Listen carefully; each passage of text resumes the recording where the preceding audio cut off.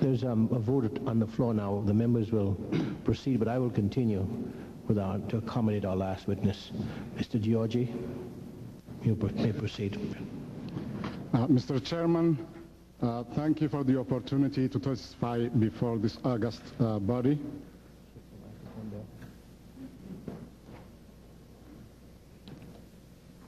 After 30 years of fighting and war, the guns in Eritrea are silent. And peace reigns everywhere. That includes also Ethiopia.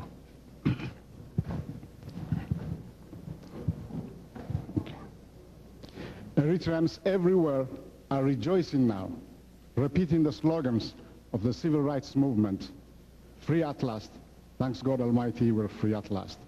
And they're also repeating the slogans of the Jews who are remnants of the Holocaust by repeating their slogan again, never again, reflecting their dual heritage.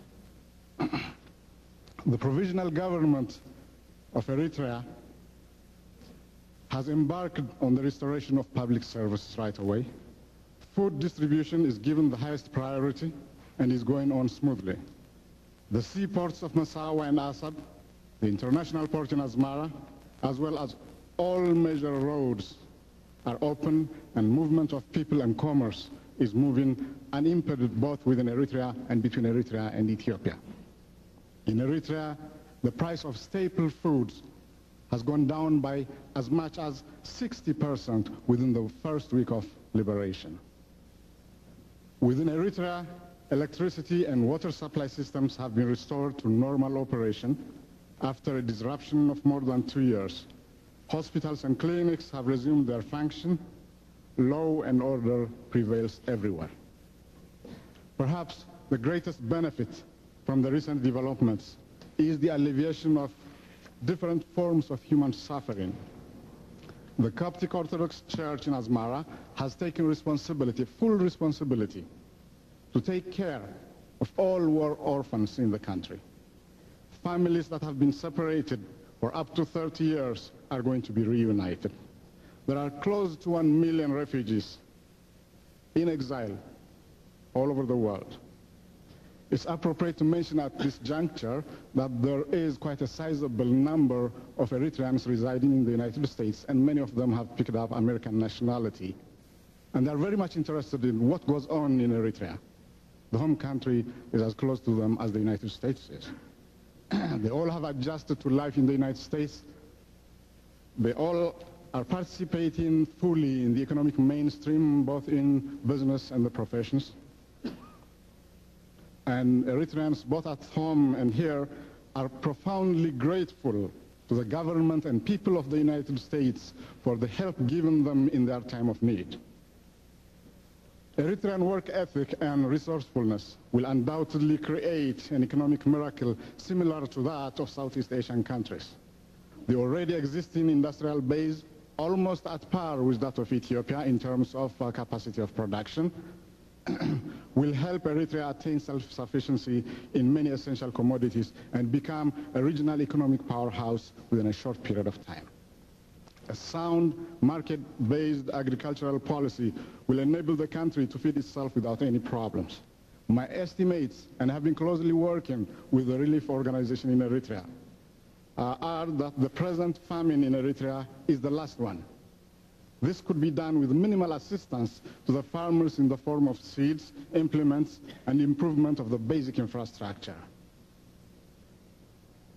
The new government in Ethiopia has proven itself to be responsible and trustworthy. Its respect for human rights is shown by the way it treats the former government and Communist Party officials. The whole process of change of government was done so meticulously that the bloodbath many doomsayers were predicting did not materialize. It's to the credit of the Ethiopian and Eritrean peoples that the war ended without the anarchy that accompanied the fall of dictatorships in Liberia and Somalia. The U.S. government has played a historic role in bringing an end to the 30-year war in Eritrea and the 16-year war in Ethiopia. The decisive role played by Secretary Cohen in the London conference has made people who know the area and the nature of the conflict proud of the United States. his support for resolving the Eritrean issue through internationally supervised referendum, and his courage to invite the EPRDF to take over Addis Ababa and to prevent bloodshed is highly commendable. In this regard, the U.S. administration has shown its commitment to democracy. And Mr. Cohen, as the earlier speaker has suggested, has earned his place in history. And I would add to that that in due course of time, if this process reaches its uh, logical conclusion, I have no doubt that Mr. Cohen will be a recipient of the Nobel Peace Prize. Equally important is the good understanding that exists between the governments of Eritrea and Ethiopia. The opening of the seaports of, for Ethiopian goods without any delay and other ongoing relations are examples of the understanding between the two governments. Such an understanding is vital for carrying through the peace process and should be encouraged. The reaction of some elements of the Ethiopian exile community outside Ethiopia does not reflect the reality in the country. What we are witnessing here is a deliberate scheme of deception and disinformation to create the, the perception of instability in the country. The ultimate objective of such a campaign is to grab political power by any means necessary and at any cost. One way of doing so would be to bring foreign troops into the country. A former foreign minister, Andrew Haile Selassie, after spending his entire life or career advocating non-interference in Ethiopian affairs, was shown on CNN recently openly advocating for the OAU to send troops to Ethiopia. We know the consequence of such moves. The other allegation that the EPRDF, the group that has taken power, is dominated by the Tigrans and that the Amharas, the dominant group up to now, have been left out falls in the same category. The composition of the EPRDF Council and the process they followed up to now shows that the front is representative of the Amhara, Tigrans, and other groups. During the last two years, the EPRDF was operating in the Amhara areas of the country. They lived with the people and shared their problems and views. They empowered the people fully by helping them set their own democratically elected local administration. By working close with the people, they managed to get their confidence and full involvement. The movement that overthrew the well-entrenched Mengistu regime was a movement of the people, and the Amhara people were very much part of this movement. They deserve credit. Knowing the tenacity and fiercely independent nature of the Amhara people, there is no other way any force could have passed through their territory except through their consent and participation. Documentary evidence from the area shows the sincerity and involvement of all the people. That's why there is no complaint or opposition from the Amhara people in Ethiopia. The only complaint we hear about is from here, 18th Street and Columbia Avenue. The people are part and parcel of the movement, and they are now the government. What's more, the people can speak and are speaking for themselves. The exile community in this country definitely can speak for itself. So far, these people do not offer any new approach or insight. In the name of national unity, they are advocating for a continuation of the war policy followed by the two previous governments. They distort history by claiming that Eritrea was part of Ethiopia for millennia, they, that Ethiopia, the Ethiopia they use for such purpose is the biblical name used for the entire black Africa. True, history shows that modern Ethiopia was a buffer zone created by European colonialists during the scramble for Africa towards the end of the last century the same time that Eritrea was also colonized by the Italians. An international conspiracy denied Eritrea its right for independence and let it be annexed by the expansionist government of Ethiopia. The bloody war that followed and the attendant famine and human misery is the result of the denial of the Eritrean people's rights. The few weeks of peace that we have now seen are proof that the region's core problem has centered around the Eritrean issue.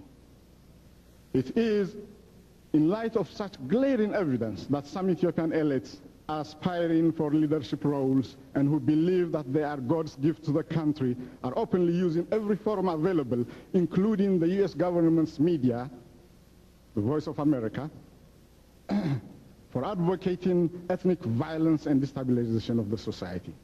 They apparently are convinced that they can fish only in troubled waters. And if the waters happen to be calm, they are prepared to agitate them to suit their purpose. Thus, the choices available for the people and for their genuine supporters like the United States are very clear. Whether to proceed steadily with the recent developments toward a lasting peace or go back to the horrors of yesterday. The people have shown their desire and commitment for peace. The U.S. should continue to play the historical and positive role it has embarked on. History will definitely remember this moment. In time, the people of Eritrea and Ethiopia will develop a solid relationship based on common interest and mutual respect. Such a relationship can be made to include all the countries in the region, region which may have to evolve with the establishment of customs union first, then a common market. Establishment of a democratic system of government and market economy can be conditions for joining such a union. Economic and other forms of aid can be used effectively as incentives for cooperation in the future. It's in light of all these positive possibilities that, Mr. Chairman, I urge your committee to support fully the move that's been taken by the State Department. Thank you. Thank you very much indeed. Uh, I think today's witnesses prove the need for a national meeting of reconciliation because of divergent views. However, the committee is privileged to have such outstanding scholars and witnesses here today. Men, uh, unfortunately no women, with deep commitment and uh, wide range of uh, knowledge about the, their country. Mr. Giorgio, what is the ultimate objective of the EPLF in Eritrea? The official position of the EPLF regarding the future of Eritrea is to let the Eritrean people in a democratic process, such as a referendum, decide their future. But what, what, would, what do they perceive as their future? Uh, tentatively, there are uh, about four choices presented to the people. If they would like to be united with Ethiopia, that will be done. If they would like to have an independent state of Eritrea, that will be done too. If they want to have some kind of a federal arrangement, that's another possibility. And finally, any kind of regional autonomy could be worked out. But it's for the people of Eritrea to decide. So in a referendum, they will have a number of alternatives to options to review before they make a decision on the ballot, so to speak. There'll be these four options before them. Right. Yeah. Uh, Mr. Wolde, you want to comment on the, uh, the need for referendum or the request for referendum in Eritrea? Yes, sir. Thank you very much. I believe there is no need for any referendum. The, the, reason one wants to have a referendum is to know the wishes and aspirations of the Eritrean people. Now, the Eritrean people, through several processes from, from the end of the Second World War, had gone through the acts and different stages of self-determination. The 1947 Four Great Powers Conference decided to set up a commission of investigation, sent that committee or commission to Eritrea to investigate on what the people of Eritrea wanted to do. That commission came with a recommendation that the majority of people wanted to associate themselves with Ethiopia. But later on, the Four Power Grids Commission's responsibility shifted from there to the United Nations. And the United Nations set up a United Nations Commission for Eritrea, which had five members of it, three of whom were violently opposed against uh, to the Ethiopian nation state, particularly Pakistan.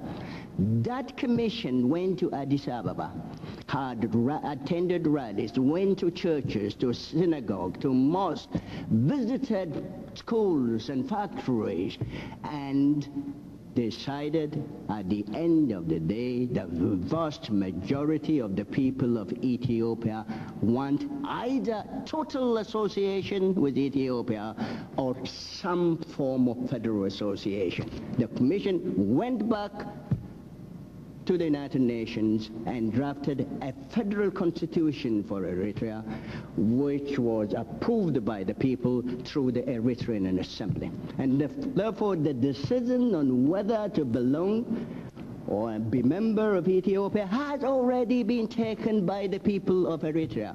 One cannot give the right of self-determination every 15 years or 20 years or every generation. And but if it is found necessary at some point in the future for the people of Eritrea to decide their future, well then, since there are so many developments since the Second World War, and the people of Ethiopia are affected in many ways through direct cultural, political, and economic interrelationship, that opportunity or that referendum should be made available, should be made open to the people of Ethiopia and so that the people of Ethiopia should decide. And more importantly, it should also be suggested that the decision on whether one should have a referendum in Eritrea or the whole of Ethiopia should be preceded by the democratization of the political life of the people of Eritrea and Ethiopia.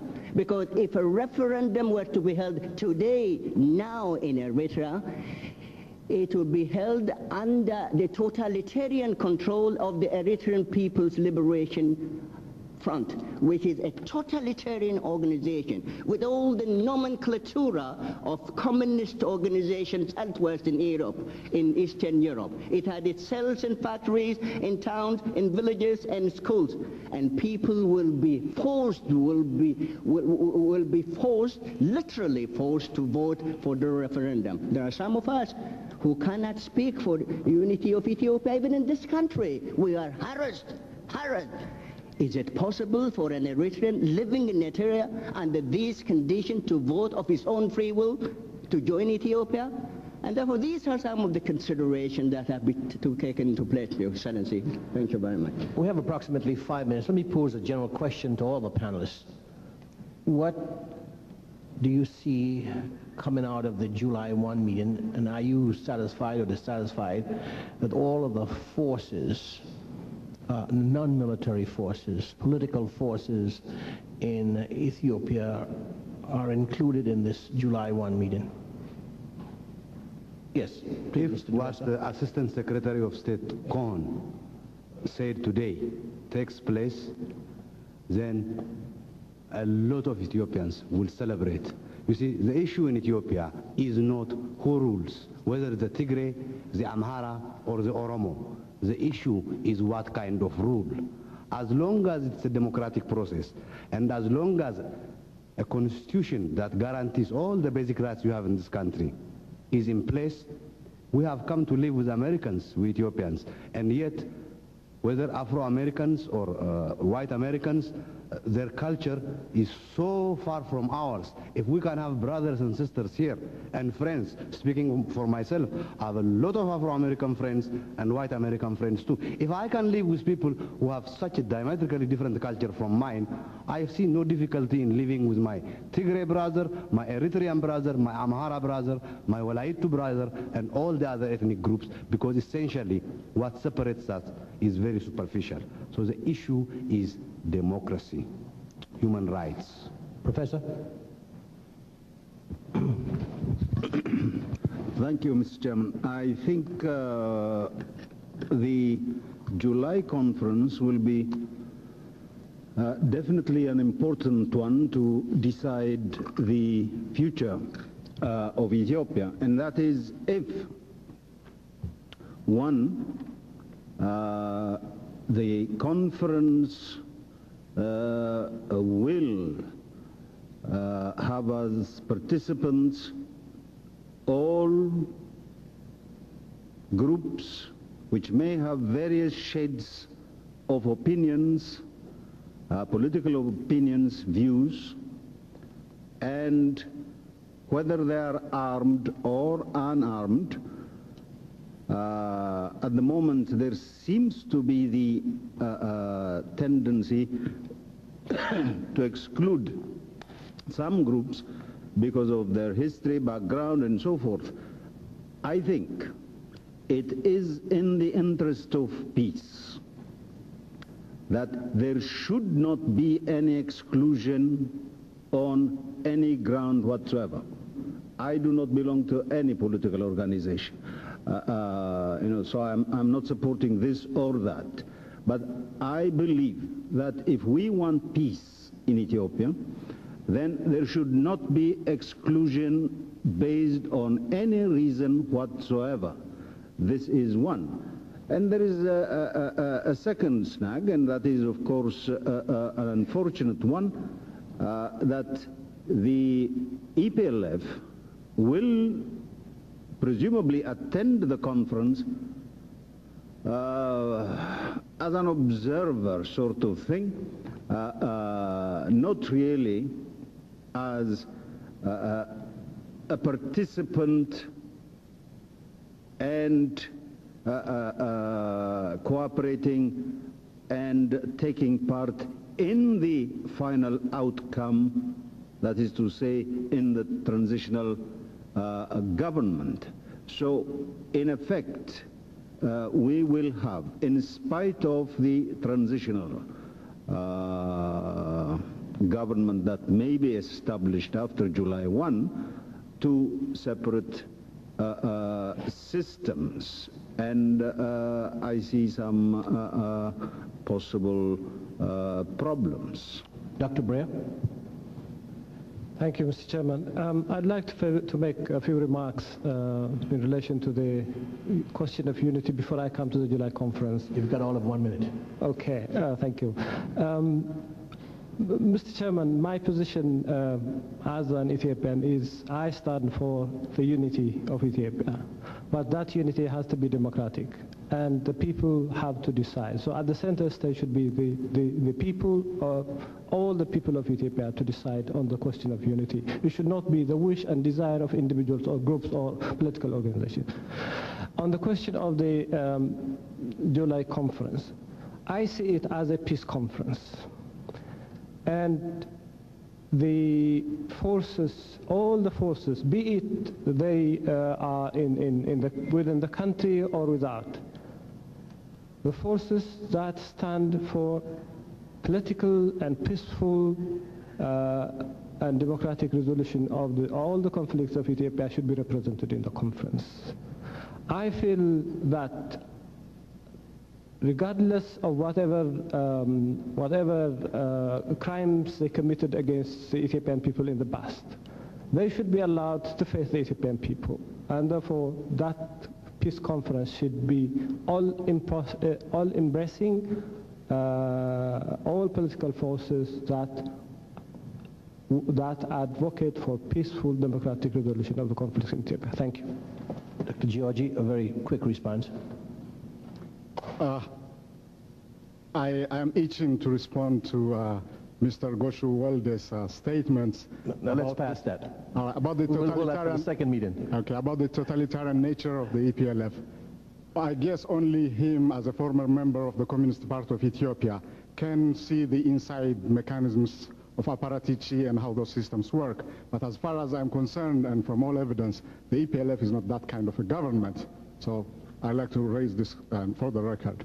Uh, as far as the uh, July conference is concerned, I also wish sincerely that all the parties concerned about the well-being of the country are represented because Eritrea needs a peaceful and democratic Ethiopia as its neighbor.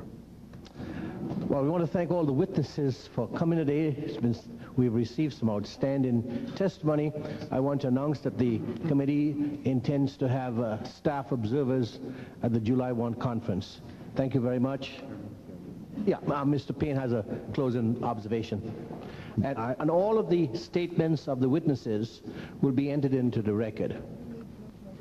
Yes, I certainly would like to thank all of the participants who gave their points of view. I would hope, too, that the July 1 meeting, all parties could get around the table and discuss the future of, of Ethiopia, as it's been indicated uh, by the first respondent, that uh, if you can come here and live with people that have such different uh, colors and hues and, and ethnicities from all around the world.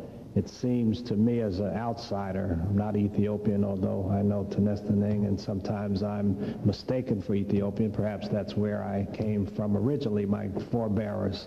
But the fact remains that to us outsiders to continually hear uh, the small issues that divide people who are almost all brothers and sisters.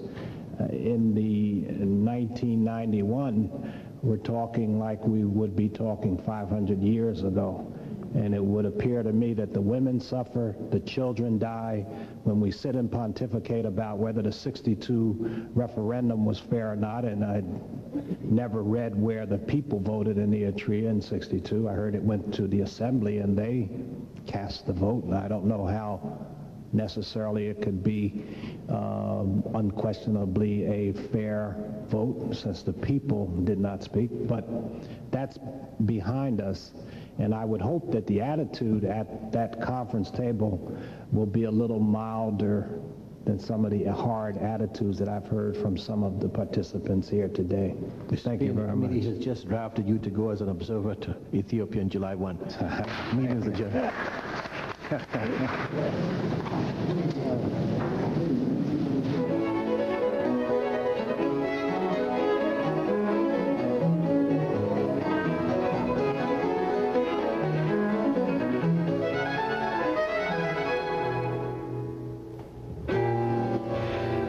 a programming reminder now to be with us Sunday evening for our weekly look at the people and politics of Great Britain.